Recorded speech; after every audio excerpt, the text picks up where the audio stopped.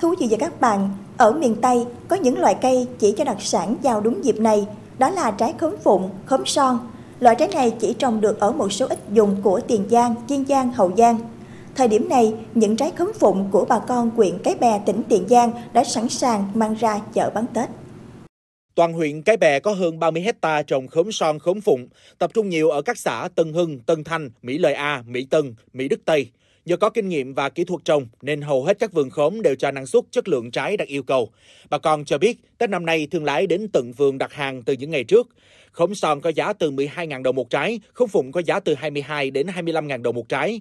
Với giá này, một hecta trồng khóm son khóm phụng sau khi trừ chi phí, nông dân có lãi khoảng 150 triệu đồng là loại trái cây có hình dáng đẹp, khóm phụng khóm son đã trở thành loại nông sản đặc sắc vào dịp Tết do nhu cầu chân cúng trong các mâm ngũ quả.